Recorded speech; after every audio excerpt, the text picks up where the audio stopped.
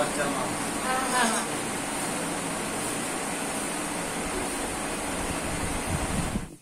Happy birthday happy birthday পারবে? খোলো। Hello friends good morning কেমন আছো তোমরা? আশা করি ভালো আছো। আরও একটি নতুন ব্লগের সাথে তোমাদেরকে জানাই অনেক অনেক স্বাগত। আজকে কিন্তু সকাল সকাল ব্লগটা স্টার্ট করে দিয়েছি আর ওয়েদারটা এত সুন্দর। কালকে রাতে জানালা লাগিয়ে ঘুমিয়েছিলাম, কেননা যা ওয়েদার যা অবস্থা চারিদিকে হচ্ছে মশার কামড়ে, সেই কারণে জানলা লাগিয়েই ঘুমিয়েছিলাম। আর আজকের দিনটা আমার কাছে খুবই একটা স্পেশাল দিন।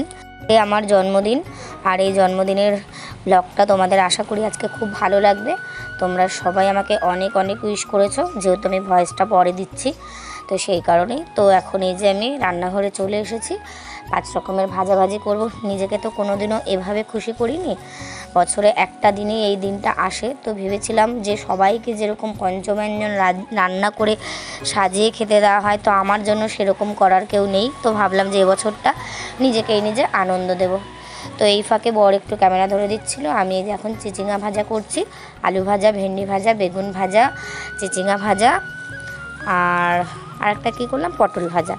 আর এই যে এখন আমার বর গেল দুধ আনতে, পায়েস করব।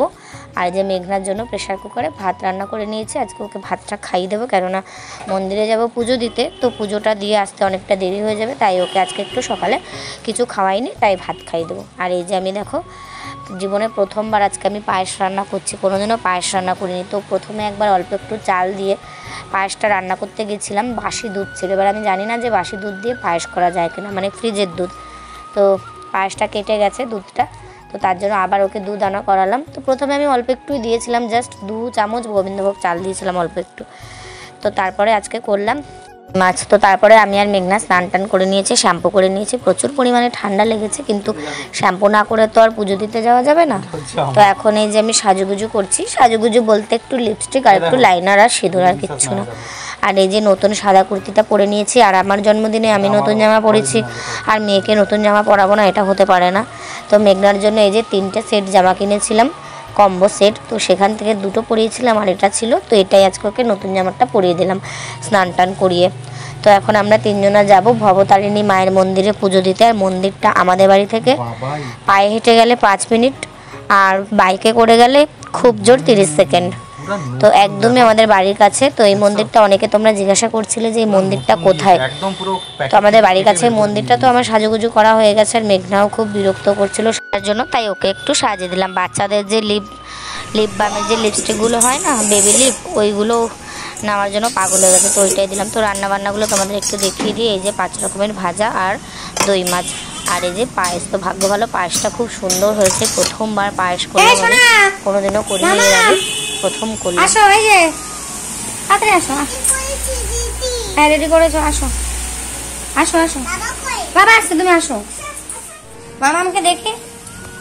দেখে আমাদের টাকা।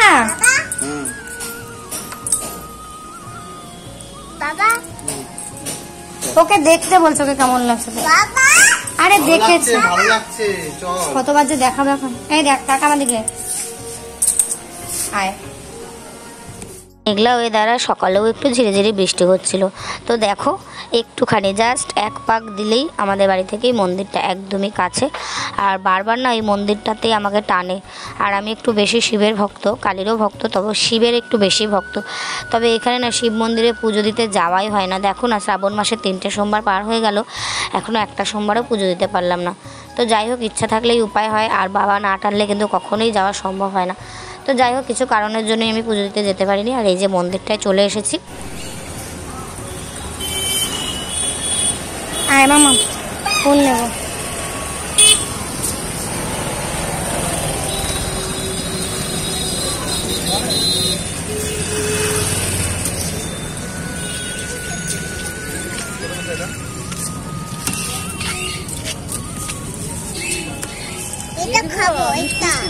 আগে ঠাকুর খা।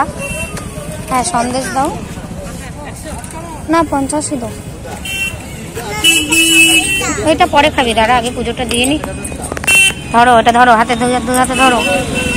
হ্যাঁ ঠাকুরকে দেবে হ্যাঁ মামা আচ্ছা।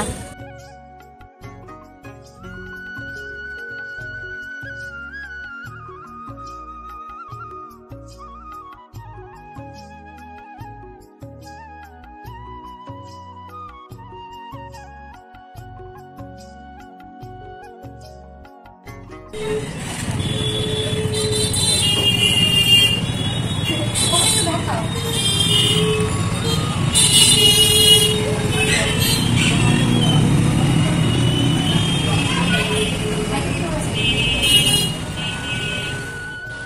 এই যে এখন ওনাদের পুজো দেওয়া হয়ে গেছে, এবার আমরা পুজো বসবো।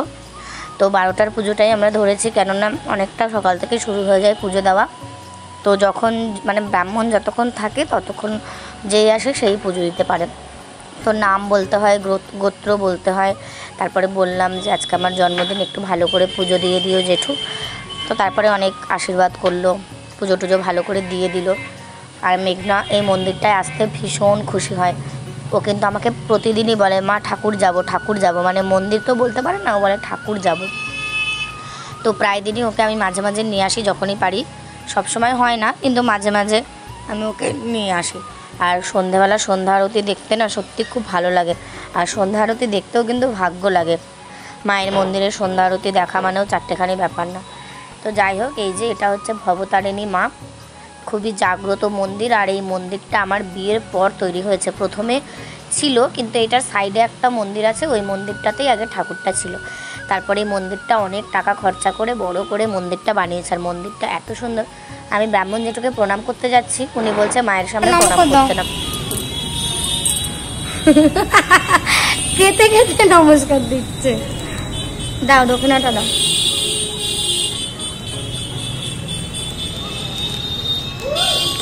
ধূপকাঠিটা নাও একটু জ্বালিয়ে দেবো। ধূপকাঠি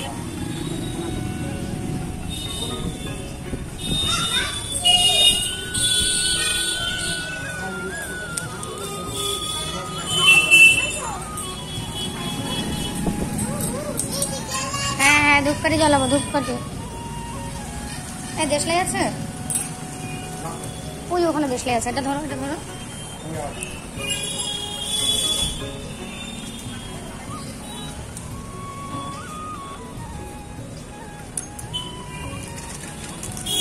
এখানে হাওয়া দিচ্ছে, এখানে চলো। এই শোনো মা, এখানে আয় মামা এটা ঘণ্টা বাজে ভাই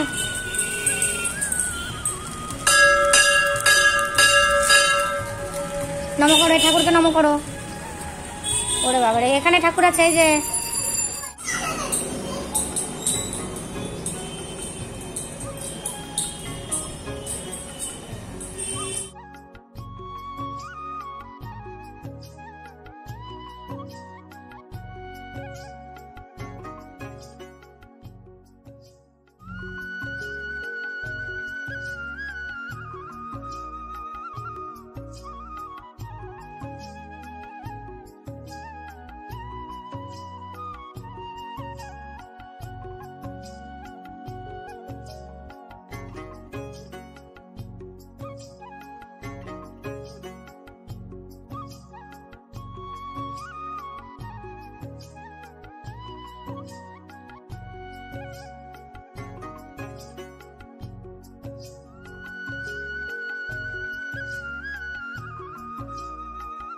যেখানেই যায়, একটা না একটা কাণ্ড করে। এখানে ঠাকুর ঘর মুছতে বসে গেছে মেঘনা, দেখো।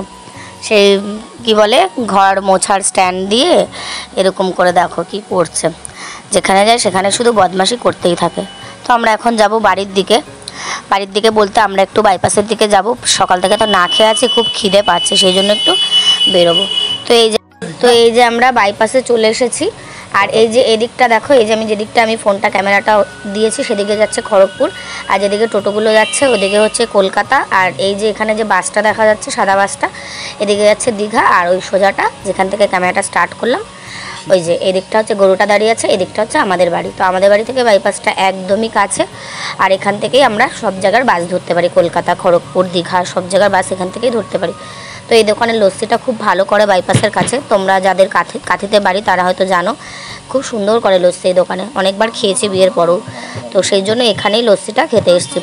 আর সামনে একটা মিষ্টি দোকান আছে। ওই মিষ্টি দোকান থেকে একটু সন্দেশ আর মিষ্টি নিয়ে নেব। তো চলো বন্ধুরা, এখন লস্যিটা খেয়ে নিই তো দেখো দেখো দেখো, বাসের মধ্যে নাম লেখা আছে আমাদের কাথি। এই বাসটা কোন দিকে যাচ্ছে বলো তো? এই বাসটা যাচ্ছে খড়গপুরে। আমি ভয়েস দিচ্ছি আর আমার বর পাশ থেকে হাসছে। বাসের নাম কাথি বললাম ওই জন্য। আর এই যে এখন লস্যিটা খেয়ে নিচ্ছি। বর্মশাই তো ক্যামেরা করতেই চায় না কোনো তো এই যে লস্যিটা খাচ্ছি। আর এই সময় আমার বর একটু ক্যামেরা করে দিচ্ছিল। সবসময় তো ক্যামেরা করে দিতে চাই না। হাজারবার বললে তবে। মানে খুব একটা ইন্টারেস্ট নেই। তো যাই হোক এই যে মিষ্টি দোকানে চলে এসেছি লস্যিটা খেয়ে। আর এই যে বাইকে ঝুলানো রয়েছে প্যাকেটে মিষ্টিটা কিনে নিয়েছে আবার বাড়ি আসব। তো বাড়িতে এসে এই যে আর ক্যামেরা করতে পারিনি, সেভাবে আমার বরের প্রচুর খিদে পাচ্ছিল। সকাল থেকে আজকেও এক কাপ চাও খাইনি। সেই কারণে আমাদের তিনজনের দেখো একসাথে ভাত বেড়ে নিয়েছি। আর আমি একটু ফটো মটো তুলবো বলে একটু সাজিয়ে নিয়েছিলাম। তো ও তো কিছুতেই মানে কি বলব আর? বলছে ভীষণ তাড়াহুড়ো করছে ভাত খাওয়ার জন্য। ওর প্রচুর খিদে পেয়েছে ওই কারণে। তো এখানে ক্যামেরাটা সেট করে দিয়েছি। কেননা ক্যামেরা ধরার মতো কেউ নেই। আর আমার যে ওই যে স্টিকটা দেখতে পাচ্ছ তোমরা ওইটা দিলে আমার এই পাওয়ার বাটনটা খুব প্রবলেম হচ্ছে। বারবার সুইচ অফ হয়ে যাচ্ছে পাওয়ার বাটনটা গন্ডগোল হচ্ছে। এই ফোনটা এখন আপাতত আমার বরের ফোনটা আমি ব্যবহার করছি? খাচ্ছ? খাও।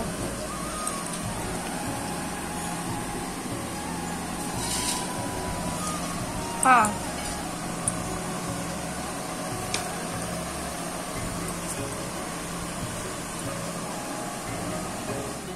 তো এই যে দেখো খাওয়া দাওয়ার পরে এখন বাপ বেটিতে মিলে ঘুমিয়ে পড়েছে। আর এখন অনেকটাই বেলা হয়ে গেছে। প্রায় সাড়ে চারটে, পৌনে পাঁচটা বাজে। মেঘলা ওয়েদার তো তো কী করব? মেঘনা তো সারাদিন ছটফট করছে। একটু ঘুম না পারালেও নয়। আর আমি আজকে একটা নতুন নাইটি পরে নিয়েছি। একই রকমের একটা লাল আর একটা অরেঞ্জ তো এই যে নতুন নাইটিটা পরে নিয়েছি, তো চলো তোমাদের সাথে সন্ধ্যেবেলা আবার দেখা হচ্ছে।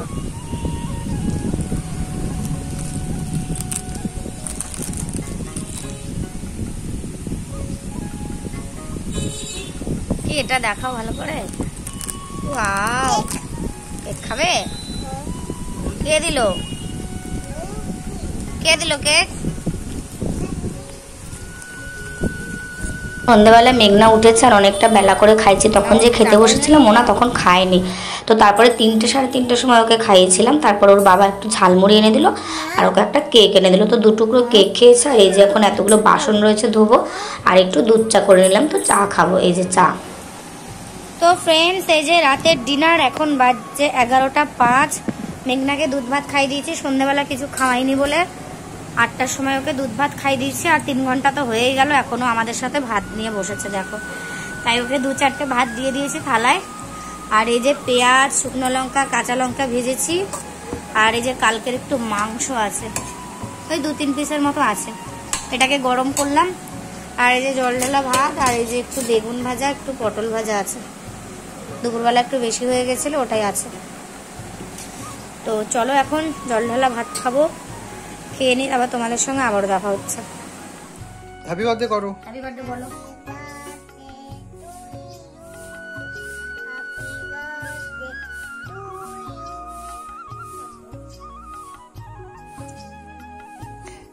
Birthday happy birthday happy birthday to you happy birthday Manasa শোনো।